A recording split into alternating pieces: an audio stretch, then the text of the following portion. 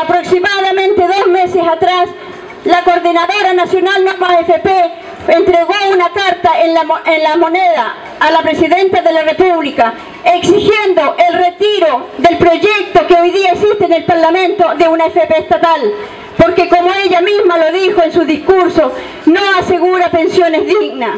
Buscamos que se cree en nuestra patria un sistema tripartito en donde aporten a este fondo los trabajadores, los, el empleador y el Estado. De tal manera, el Estado también debería en este nuevo sistema garantizar pensiones básicas dignas. Por eso es importante que tomemos conciencia de lo que hoy está pasando con el sistema de pensiones. Necesitamos terminar con el lucro que estas administradoras de pensiones tienen con nuestros dineros.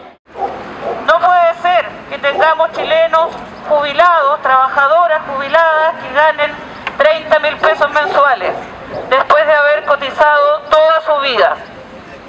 Este sistema, además de ser tripartito, debe ser administrado por el Estado, no por los privados.